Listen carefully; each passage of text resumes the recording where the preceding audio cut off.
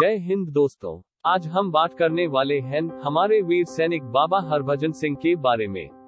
Let's start the video Baba Harbhajan Singh का इतिहास वैसे तो हमारे देश में देवी देवताओं के काफ़ी मंदिर बने हैं। लेकिन क्या आपने कभी सुना है किसी सैनिक का मंदिर? एक ऐसा मंदिर जहाँ दूर दूर से लोग पूजा अर्चना करने के लिए आते हैं।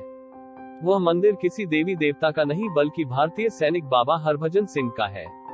विभिन्न मान्यताओं के अनुसार बाबा हरभजन सिंह मरने के बाद भी अपनी नौकरी कर रहे हैं।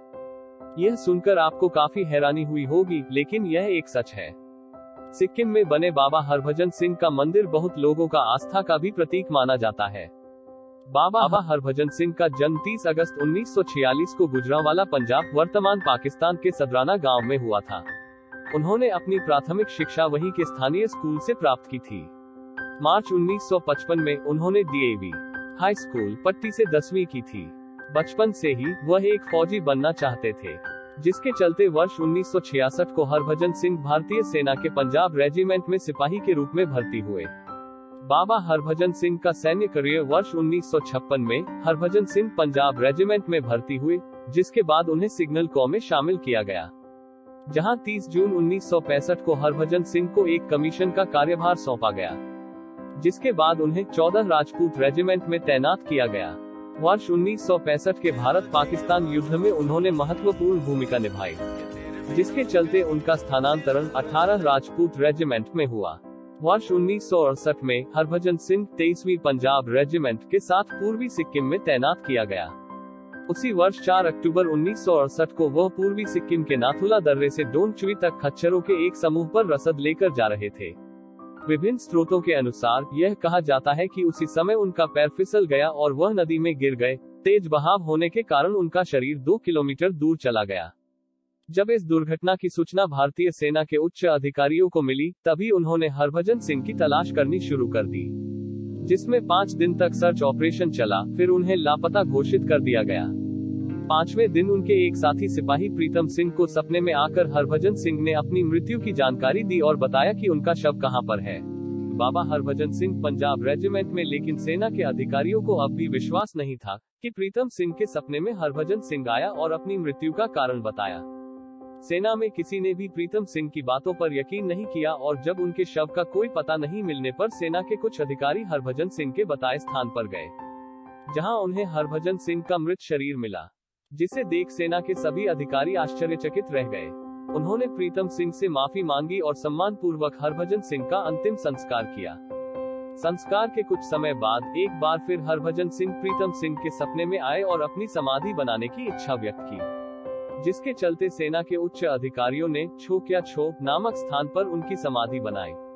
विभिन्न सैनिक अधिकारियों के अनुसार कहा जाता है कि मृत्यु के बाद भी बाबा हरभजन सिंह अपनी ड्यूटी करते हैं और चीन की सभी गतिविधियों पर नज़र रखते हैं और समय समय पर सैनिकों को सतर्क करते रहते हैं।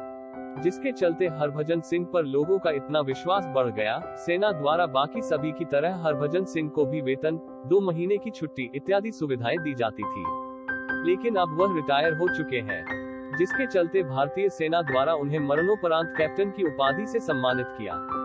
सिक्किम में नाथुला पास प्रचलित मान्यताएँ ऐसा कहा जाता है कि अन्य सैनिकों की तरह हरभजन सिंह को भी मरणोपरांत दो महीने की छुट्टी दी जाती थी, जिसमें उनका सामान एक ट्रेन के माध्यम से उनके घर तक पहुँचाया जाता था। जिसके लिए टिकट भी बुक करवाई जाती है और स्थानीय लोग उनके सामान को लेकर जुलूस के रूप में उन्हें रेलवे स्टेशन तक छोड़ने जाते हैं। बाबा हर सिंह का ट्रेन टिकट बाबा हरभजन सिंह मंदिर में बाबा हरभजन सिंह के जूते और बाकी का सामान रखा गया है। जिसकी भारतीय सेना के जवान चौकीदारी करते हैं और उनके जूतों को प्रतिदिन पॉलिश भी करते हैं। वहाँ पर तैनात सिपाहियों का कहना है कि रोज उनके जूतों पर किचड़ लगा हुआ होता है और उनके बिस्तर पर सलवटे पर दिखाई पड़ती है। बाबा हरभजन सिंह का मंदिर में रखा सामान भारतीय सेना के अलावा चीन की सेना का भी मानना है कि उन्होंने रात के समय बाबा हरभजन सिंह को घोड़े पर सवार होकर गश्त लगाते हुए देखा है। सूत्रों के मुताबिक, बाबा हरभजन सिंह शरीर भारतीय सेना की सेवा करते आ रहे हैं और इसी के मद्देनजर बाबा हरभजन सिंह को मृत्यु प्रांत अशरीर भारतीय सेना की सेवा में रखा गया। यही नहीं, उनकी याद में भारतीय सेना द्वारा एक मंदिर का निर्माण करवाया गया। यह भी कहा जाता है कि यहाँ रखे पानी की बोतल में चमत्कारिक गुण आ जाते हैं और इसका 21 दिन तक सेवन करने से श्रद्धालु अपने रोगों से छुटकारा पाते हैं।